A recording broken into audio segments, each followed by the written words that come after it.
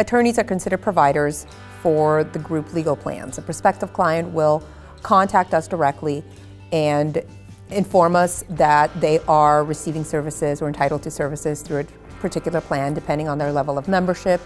We are either offering them a discounted rate or their legal services will be covered directly through the plan. The benefit of participating and being a member of GLSA from the attorney standpoint is that we have access to the legal plans that are out there. We go on the website, we can attend a conference, and we are able to see exactly who these plans are, contact them directly, sign up to be a provider, and start getting referrals.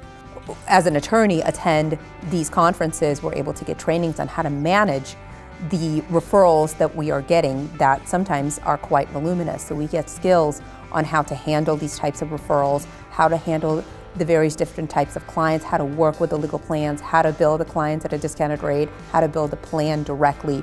So it's, it's a great, great resource.